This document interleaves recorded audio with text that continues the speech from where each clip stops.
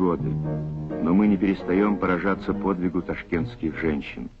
Затаив дыхание, слушали они вести с фронта.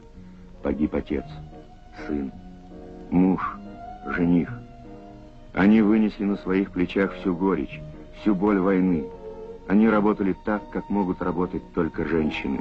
Руки не знают покоя, душа не знает покоя. Но у них еще оставались силы для детей, улыбки, доброго слова. Им, одиноким женщинам войны, обязано все послевоенное поколение ташкентцев, обязано всем, судьбой, самой жизнью. Нет, не на платье пошел во все века прославленный узбекский шелк. Из него были сшиты 330 тысяч парашютов. И воинов, бросавшихся в бой, все годы войны поддерживали заботливые руки матери, сестры, жены.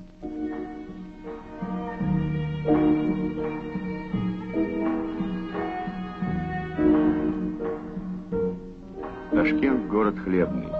Кто не слышал этих слов? Но Ташкент, как и весь тыл, получал хлеб по единой норме, и ни грамма больше.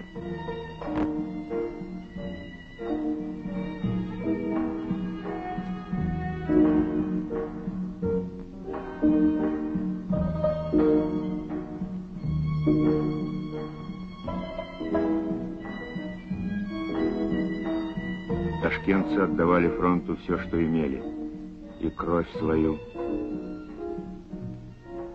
драгоценности, семейные реликвии, и шубу со своего плеча. Узбекистан подкреплял действующую армию продовольствием, ободряющим словом друга и брата. Не дожил до победы всеузбекский староста Илдаш Ахунбабаев. Великие труды и бессонные ночи тыла подорвали его здоровье. Но живы его отцовские слова, обращенные к воинам. «Возвращайтесь домой здоровыми и невредимыми. Возвращайтесь с победными песнями, мои любимые дети, наши герои,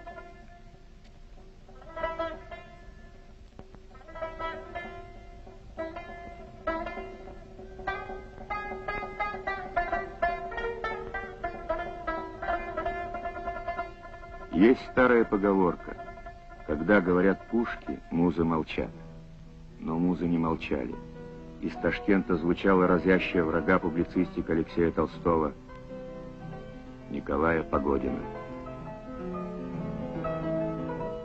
С узбеком мы слагали слово и песню о войне, говорил Якуб Колос о другом фронте, фронте литературном.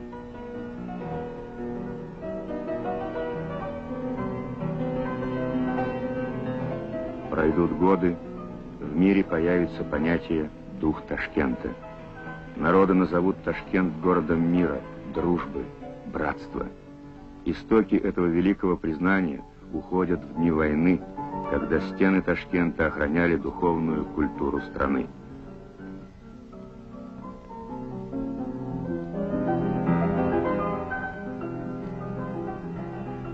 Нет, не молчали музы. И еще многие поколения будут знакомиться с Отечественной войной по фильмам, которые снимались в Ташкенте.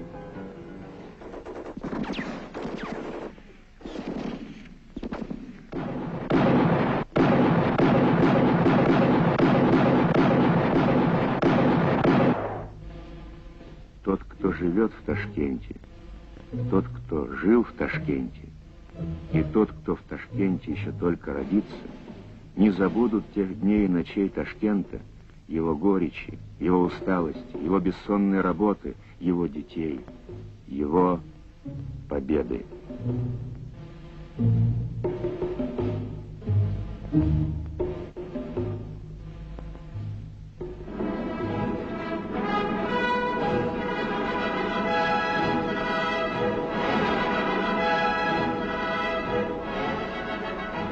Летит время. Но мы не забываем тебя, военный Ташкент, потому что этого не забыть никогда. Thank you.